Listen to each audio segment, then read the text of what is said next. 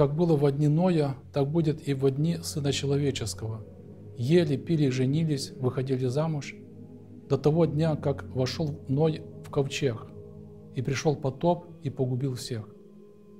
Так же, как было и в дни Лота, ели, пили, покупали, продавали, садили, строили. Но в день, в который Лот вышел из Содома, пролился с неба дождь огненный и серный и истребил всех.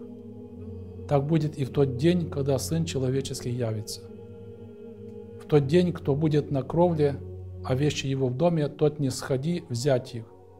И кто будет на поле, также не обращайся назад. Вспоминайте жену Лотову. Кто станет сберегать душу свою, тот погубит ее, а кто погубит ее, тот оживит ее.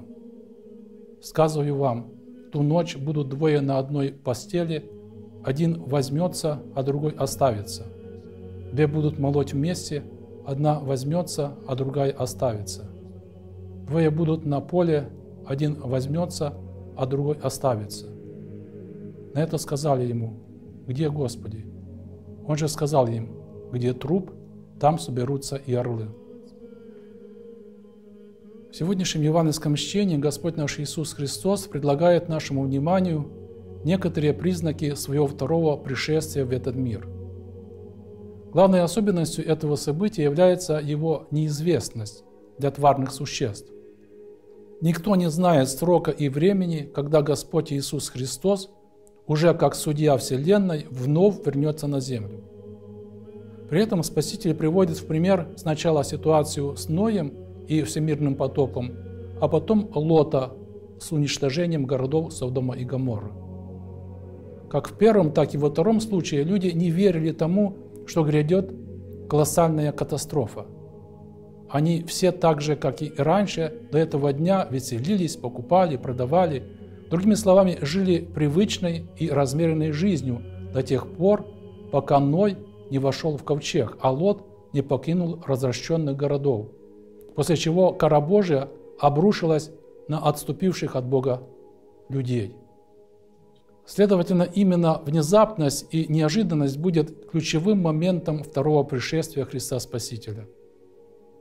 Святитель Василий Великий отмечает – Господь умолчал о времени суда потому только, что не полезно было людям слышать о сем. Ибо всегдашние ожидания делать более ревностными в благочестии, а знание, что до суда еще долго, сделало бы более нерадивыми тех, кто понадеется, что можно спастись, покаявшись впоследствии. Продолжая речь, Господь предупреждает, «В тот день, кто будет на кровле, а вещи его в доме, тот не сходи взять их. И кто будет на поле, также не обращайся назад. Данные слова имеют по замечанию толкователей как прямое значение, так и аллегорическое. Во времени второго пришествия люди погрязнут в беззакониях и грехах настолько, что любая добродетель будет им казаться чем-то из ряда вон выходящим. По слову блаженного Феофилакта Болградского – Пред пришествием Христа, кто будет на кровле, разумеется, на вершине добродетели. Тот не сходи вниз, то есть не оставляй добродетели и не погружайся в пучину греха. А тот, кто будет на поле, то есть в трудах на ниве христианского благочестия, тот не обращайся назад, то есть не прекращай этого спасительного делания.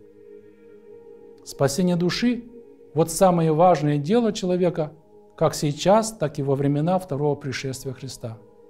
Ведь нет в этом мире более драгоценной для человека вещи, нежели его бессмертная душа. По этой причине Господь и говорит, кто станет сберегать душу свою, тот погубит ее, а кто погубит ее, тот оживит ее.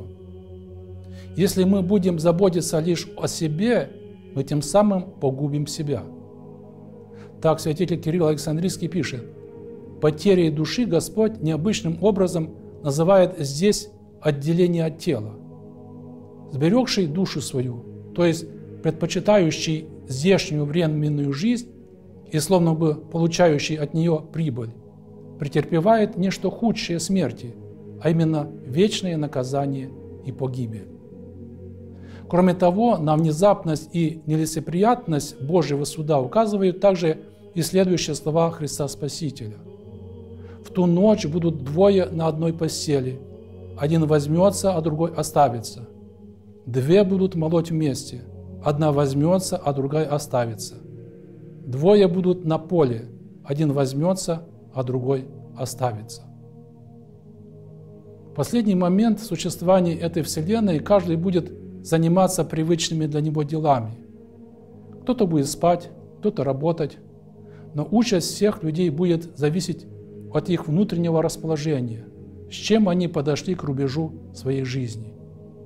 И потому, даже если двое людей занимались одним и тем же делом, например, работали в поле, но сердце одного из них в этот момент было заполнено Богом, а другого ценностями мирскими – Соответственно, будет и решение об их дальнейшей участи.